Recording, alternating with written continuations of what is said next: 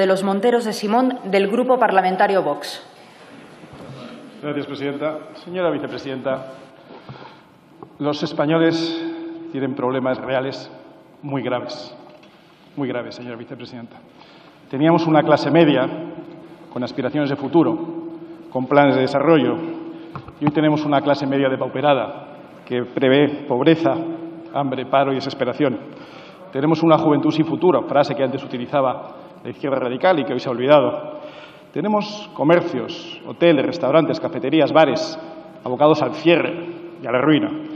Tenemos a los autónomos asfixiados mientras ustedes siguen cobrándoles cuotas cada vez más altas. Tenemos cientos de miles de empleados metidos en ERTES que no saben si mañana estarán viendo unos seres. Y, por supuesto, tenemos más de 50.000 muertos, no sabemos cuántos, porque ustedes no quieren contabilizarlos bien, por culpa del virus de Wuhan, además de cientos de miles de afectados. ¿Y mientras en qué está el Gobierno? El Gobierno está en espiar a los españoles que le critica, utilizando para ello a la Guardia Civil.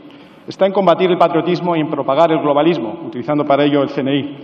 El Gobierno está en manipular el CIS, en manipular a Televisión Española a su antojo, en desarrollar alianzas con repúblicas bolivarianas, en azuzar la olla presión migratoria africana atrayendo a decenas de miles de inmigrantes a nuestras costas, poniendo en riesgo su vida y luego, eso sí, alojándoles en hoteles de cuatro estrellas, a pesar de que no tenemos capacidad de acogerles. Están ustedes en los presupuestos de la ruina. Están ustedes en gastarse 100 millones de euros en 6.000 nuevos coches oficiales ecológicos. Están ustedes en subirse el sueldo como gobierno, en aumentar nada menos que un 45% el número de altos cargos a dedo. Están en el gobierno más grande de la historia, con 22 ministros. Y, por supuesto, están en pactar con Bildu. Están en normalizar a Bildu, en blanquear en meter a Bildu, que es como decir meter a ETA, en la dirección del Estado, señora vicepresidenta.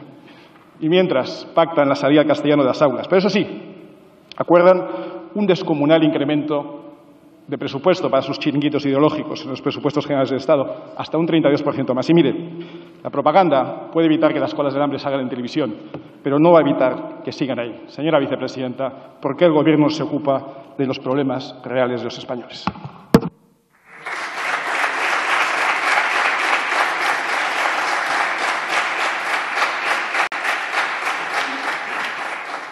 Señora vicepresidenta primera del Gobierno. Gracias, señora presidenta. Señor Espinosa de los Monteros, el, Gobierno ha tenido que vivir, desgraciadamente para nuestro país, la peor crisis por razón de la pandemia de la última historia reciente de nuestro país. Y en apenas diez meses largos ha traído 20 normas a esta Cámara para proteger a los españoles, para luchar contra la pandemia. Y la mejor manera de hacer política real y realista es haber traído unos presupuestos a esta Cámara que ustedes han negado. Unos presupuestos que entran en la historia de las políticas sociales y, por tanto, de la solidaridad entre españoles y de la generación de igualdad y de justicia entre españoles en este momento a los que ustedes se han negado. Señorías, ustedes han decidido también apuntarse a tumbar el sistema. Esto es una democracia que ustedes tienen también que entender y que aceptar y dejar de enaltecer las dictaduras, la nuestra. Ustedes han dicho que frente a unos presupuestos generales del Estado que son una obligación constitucional de este Gobierno, de cualquier gobierno democrático, van a hacer vídeos. Dicen ustedes que van a hacer vídeos. Con vídeos en vez de enmiendas y de ayudar unos presupuestos que le hacen falta a España, vamos a tener a la SUCI funcionando, las escuelas abiertas, las pensiones pagadas, los sueldos pagados, la protección en la dependencia Déjese de la irrealidad en la que andan. Hablen de una España en el siglo XXI en Europa y de un estado de bienestar que necesita generar y redistribuir igualdad y justicia para los españoles. A España, a himno y a bandera no les gana a ustedes nadie, pero a la realidad les gana cualquiera.